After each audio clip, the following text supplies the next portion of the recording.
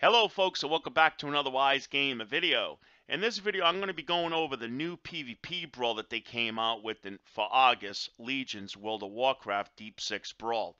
Now this is um, this is something I actually wanted to cover live in the game today, but as with all brawls, they don't go on all the time. They expire until you have to wait for it to come back to the game. So check your in-game calendar for that or the journal when it comes to that. So um, this composes of 6 versus 6 instead of 10 or 15 for your traditional smaller battlegrounds. And it and it composes of three existing battlegrounds that we've been playing right along to make up the new brawl called the Deep 6 Brawl. So we're going to go over those small little changes in those battlegrounds next. The first one is WSG, other known as Warsong Gulch, the first battleground ever introduced to World of Warcraft.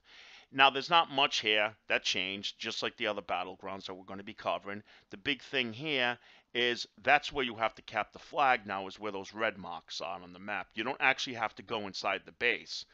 It just makes it a little easier for 6 versus 6 instead of 10 versus 10.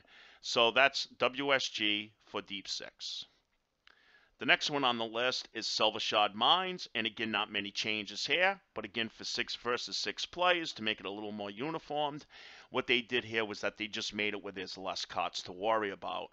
You just have to worry about capping a few carts or trying to rescue a few carts, and that's it for Silvershard Mines.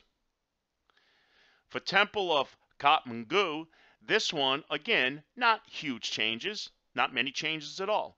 But to make it more competitive for six versus six players, is that this one is just going to have less orbs. Instead of having four orbs now to worry about, it's only going to have two. And they're going to be located where the power buffs normally are in this in this battleground, where those red marks are on the map. And that's where you pick up the orbs now, and you still want to take them into the center. And again, folks, that's about it. That's the rough uh, details when it comes to Deep Six Brawl. So again, thanks for watching Wize Gamer. Feel free to comment and sub up. We'll catch you the next time. Bye bye.